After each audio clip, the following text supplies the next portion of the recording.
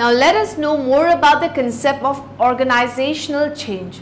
Change is not necessarily related to the past, it is also not predictive of the future. It is discontinuous, demanding, among others, a flexibility of response. There appears to be no single predictable plan approach to managing change which can work. The past is no more a prologue to the future. Indeed, there may be very limited cyclical trends or linear progressions. Defining change, managed change and organizational change. Change refers to something which occurs to an organization, a group or an individual. Managed change relates to the active involvement of the organization, group or individual in making things occur with a view to accomplish the best interests of both the individual and the organization. Change means managed change which can be used to solve problems more readily, learn from experiences, adapt to new conditions and become more competent. Meet David. David's the CEO of a big company. David's company is growing fast, very fast. And to maintain a competitive edge in an era of hyper competition, David plans to introduce a change in the way he's doing business. Any good leader knows that the only thing that's constant is change. Changes both within and outside the organization. Mergers, acquisitions, adopting new practices, upgrading technology. All of these are inevitable. David's decided to implement ERP to manage critical functions like sales, finance, and human resources. But how are these changes going to affect the average employee? Someone like Sam, for instance. Meet Sam. Sam's an accountant. He's great with numbers. What he's not so great at is handling unpredictability. He's worried about how he will manage with the ERP system. Will he be trained properly and on time? Will the new system be launched at one go? Will the timeline of these changes be communicated to him? Sam's too anxious to focus on work. He misses deadlines. His customers are unhappy. He's so apprehensive and stressed that he quits. Now imagine the same situation with every employee of the organization. Not just Sam from accounts, but Bobby from sales and Ann from HR too. That's a lot of uncertain people stressing out about the ERP with no clear communication, worrying about changes that could have been handled better. Morale drops, attrition increases, deadlines are missed, quality falls, customers are complaining, the company suffers. Now you know why David's nervous. But what if there was another way? What if you could pick up the phone and call the specialist in managing organization change? Leading industry experts with the experience and the know how to help ease your organization through difficult periods of transition. That's where we come in. We specialize in organizational change management. We can help assess exactly how to deal with any change in your organization, identify potential change barriers, and create a change roadmap. A change management strategy. A strategy that will ensure everyone affected by these changes are sufficiently engaged and their buy-in ensured. We'll manage key stakeholders at each step of the change journey, focus on people capability through training sessions, and ensure people alignment with the organization design. And what are the benefits Organizational change refers to a relatively enduring alteration of the present state of an organization or its components or interrelationships amongst the components and their differential and integrated functions in totality or partially in order to attain greater viability in the context of the present and anticipated future environment. It may embrace activities such as amalgamation and bifurcation, diversification, reorganization, restructuring, change in design or the introduction of new system involving the total organization or its section. It also includes change of people, tasks and technology as well as change in processes, customs, norms and culture of the organization. Management of organizational change may encompass anticipation of needs for change decision about the required changes and initiation and implementation of change ensuring that they are stable and lasting in nature. Defining variants of change, Schermerhorn, Hunt and Osborn 4 outline the following other variants of change. Radical frame breaking change versus incremental frame bending change unplanned and planned change. Unplanned change is the one which takes place at random or spontaneous and without the direction of any change agent that is an individual or a group responsible for changing the existing pattern of behavior of people or social systems. The planned change is the one which occurs as a consequence of specific efforts on the part of a change agent. It may be a direct response to perception of a performance gap that is a discrepancy between actual and a designed state of affairs. Defining approaches to manage change. There are basically three approaches to manage change which must be defined for properly understanding the concepts of organizational change and development. These include intervention theory and method. According to Argyris, the founder of the intervention theory and method, intervention is to enter into an ongoing system of relationship to come between or among persons, groups or objects for the purpose of helping them. There are three types of intervention activities that are made use of to accomplish these tasks of intervention theory. A time-tested approach which has known and predictable result, example an already validated questionnaire, an established team building approach or a group existing knowledge, adapting in a new way to fit the needs of the client system, and development of a new intervention by pooling the resources of the interventionist and the client system. Plan change, the modern era is characterized by the rise of the rational spirit, the conviction that science can assist in the betterment of living system. These indicate the role of the emerging fields of HR and OB in achieving improvements of human organization. The process of plan change incorporates change agent, a client system and the collaborative attempt to employ properly knowledge to clients' problems. Plan change differs from operation research, another kind of change effort in the following ways. Plan change differs vis-a-vis the identification of strategic variable that is those variables which cause difference in performance of the system. It is related to problems of identification of objective and values, collaboration and conflict, control and leadership.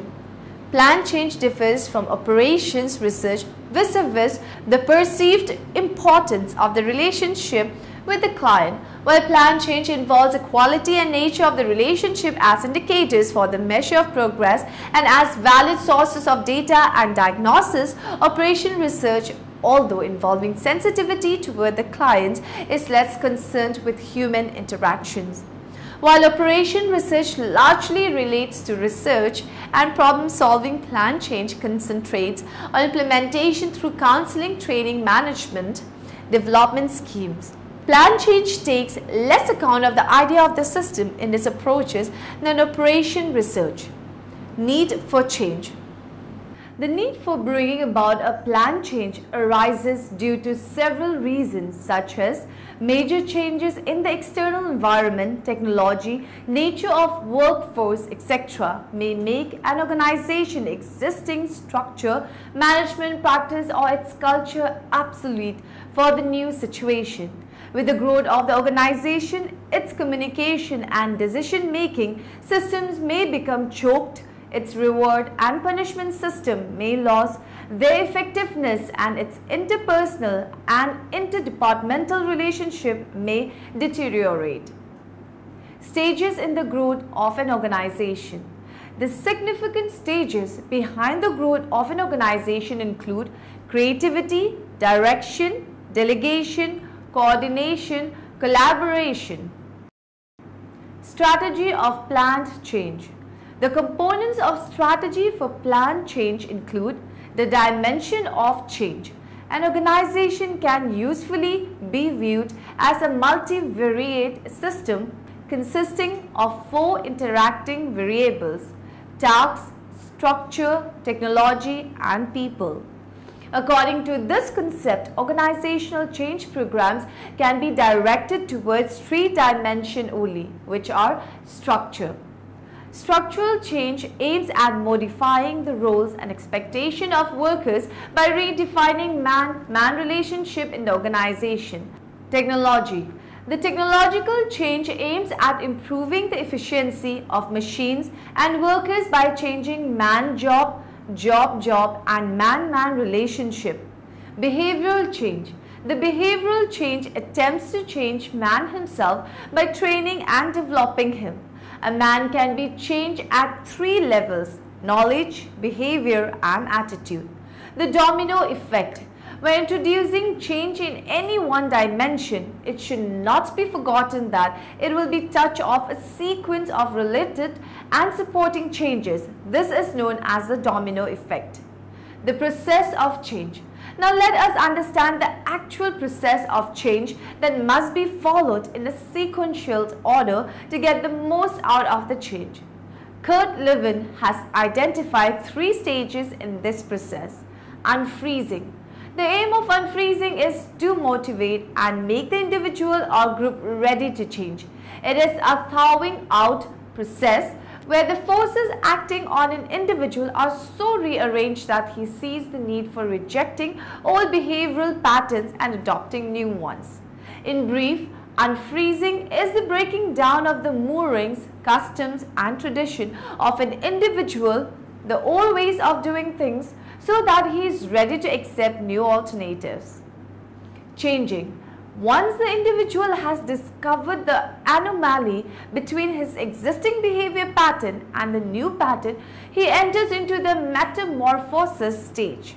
He is now ready to be provided with new patterns of behavior. The process is most likely to occur by one of two mechanisms, identification and internalization. Refreezing Refreezing is the permanent rooting of the newly acquired behavior into the individual's personality so that it does not get extinguished over time. If the new behavior has been internalized while being learned, this has automatically facilitated refreezing because it has been fitted naturally into individual's personality resistant to change. Out of the three stages of the process of change, the unfreezing stage is perhaps the most difficult because it is in this stage that a manager has to face maximum resistance from his employees. The reason for this resistance are as follows. People resist changes which are against their habits, experiences, perceptions, customs, beliefs and values. Thus, a man accustomed after lunch of his chair, pipe and newspaper may resist any change in the details of his routine. People resist change which they think will alter the established human relationships in the organization. This is the social aspect of a change. Stress management. Stress management is an important skill that all adults need in order to improve themselves as problem solvers and to be more in control of their lives. According to St. Louis psychologist and counseling information and referral, the process of stress management is one of the keys to a happy and successful life in modern society. Although life provides numerous demands that can provide difficult to handle, stress management is the best way to manage anxiety and maintain overall well-being.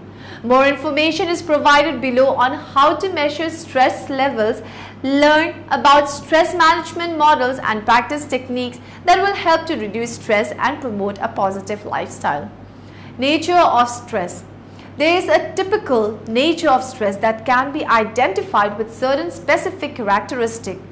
You know there are 10 key stress indicators that have been identified. These indicators include sleep difficulties, loss of appetite, poor concentration or poor memory retention, performance dip, uncharacteristic errors or missed deadlines, anger or tantrums, violent or antisocial behavior, emotional outbursts, alcohol or drug abuse, nervous habits.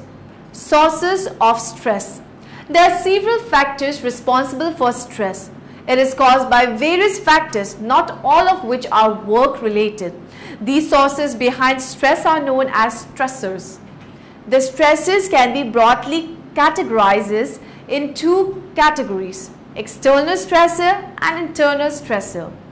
External stressor Physical conditions such as heat or cold, stressful psychological environments such as working conditions and abusive relationship, example bullying. Internal stressors, physical ailments such as infection or inflammation or physiological problems such as worrying about something. Causes of stress at work. Stress at work can be caused by a number of factors. These factors could be any of the following. Bullying or harassment by anyone, not necessarily a person's manager, feeling powerless and uninvolved in determining one's own responsibilities, continuous unreasonable performance demands, lack of effective communication and conflict resolution, lack of job security, long working hours, excessive time away from home and family, office politics and conflict among staff, a feeling that one's reward is not commensurate with one's responsibility. Working hours, responsibilities and pressures disrupting life balance, diet, exercise, sleep and rest, play, family time, etc. Stress effects. Stress significantly reduces brain functions such as memory, concentration and learning all of which are central to effective performance at work. Certain tests have shown up to 50% loss of performance in cognitive tests performed by stress sufferers. Stress is said by some to be a good thing for themselves or others that it promotes excitement and positive feelings. Causes of stress in general, the causes of stress can be categorized into internal and external factors. Environment, we all have highly individual responses to the world around us. One person may feel equally comfortable in a small town and a big city, whereas another person may be overwhelmed by a city's noise, intense space and crowded streets. Events from taking final exams to introducing your significant other to your family, many situations can lead to stress. Some example of stressful events include personal or family illness, increased workload, roommate conflicts and more. Multiple events often combine and can leave you feeling weighed down. Expectation. Many of us demand a lot from ourselves and from others. Example of expectation related stress include receiving lower grades than expected and not getting certain internship or jobs. Stress has a close link with perfectionism. Sources of stress. Identifying sources of stress at work can be very helpful. No one wants to feel bad at work all the time. However, if we do not learn to handle the stress we experience at work, we are headed for a burnt out. Once we know what is making we feel stress, then we can take steps to relieve the stress or make a change in the way we react to the stressor. There are two main types of stress. Acute stress also known as the fight or flight response, acute stress is our body's immediate reaction to a significant threat, challenge or scare. Chronic stress.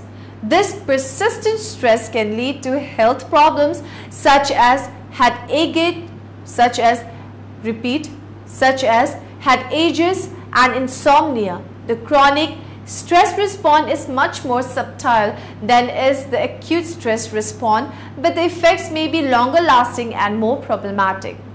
Consequences of stress Consequences are as simple as the after effects of any particular event or happening. Like any other organizational problem, stress also has some obvious after effects that may put a short-term or long-term impact on the employee as well as the organization. Stressors are real or perceived challenges to an organism ability to meet its real or perceived needs. Types of consequences of stress. Lower immunity to diseases. Stress uses a lot of energy that is vital to keep our body defenses high against diseases. When the energy is used up for stress, the body becomes only partially equipped to deal with outside illnesses as well as diseases such as cancer, weight loss or weight gain.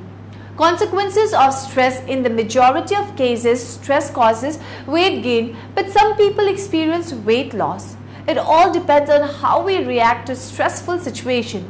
Even if we do not overeat when we become stressed, we will still gain weight because the energy that should be used to digest our food is now used to cope with stress.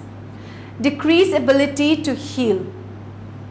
When the body suffers from a lot of stress or is in a chronic stress, the secondary functions of the body such as the heal itself is temporarily shut. This prevents quick healing and other body weak. Poorer functioning of internal organs. Kidneys, heart, lungs and other organs get much less energy when we get stressed. This causes them to function in a poorer way which can then cause illnesses, indigestion, headaches and other negative consequences. Living in survival mode. Constant stress makes one focus on how to survive rather than how to thrive. When we live in a survival mode, we will always have less money, less health and less of everything that should come naturally. This is because we abandon any creative thoughts and simply react to what's happening in the outside world.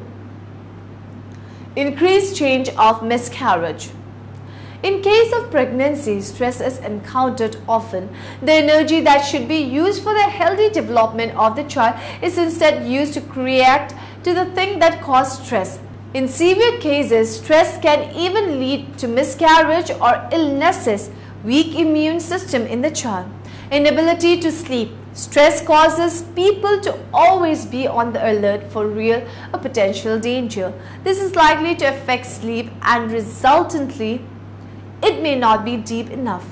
Heart problems. In case of stress, the adrenaline release for the fight or flight response makes the human heart beat faster than usual. When this happens, often the heart is forced to overwork and this can cause many different heart problems and illnesses. Muscle pains. When someone is stressed, the energy that should be used to carry blood into certain parts of the muscle is used up to react to the real or potential danger. Because of this, certain muscle do not get enough blood and this causes tension and muscle pains. Distress and stress management tips. In today's highly complex business environment, it is of utmost importance to be aware of the most beneficial and sustainable stress management tips to balance personal and professional life well. Actions necessary to reduce our negative stress consequences are these tips include have more fun, eat for great health, increase physical activity, accentuate positive thoughts, be grateful for the good in your life, get plenty of rest, relaxation and sleep, reach out, get support and interact socially, use biofeedback or other relaxation techniques, make more time for personal interests and hobbies. Consequences of unmanaged stress stressful working condition have a direct negative impact on the mental and physical well-being of the workforce. A disgruntled workforce obviously underperforms and underdelivers leading to an impact on the bottom line. Summary Now in the end let us summarize what we have learned in the lecture. Stress management is an important skill that all adults need in order to improve themselves as problem solvers and to be more in control of their lives. Stress is caused by various factors, not all of which are work related of course. Sources of stress known as stressor are in two categories, external stressor and internal stressor. Stress has to be managed with a rational, calm, controlled and socially sensitive approach. Appropriate changes are made to alter the situation on the environment and thereby reduce or eliminate stress by resolution of the problem creating the stress.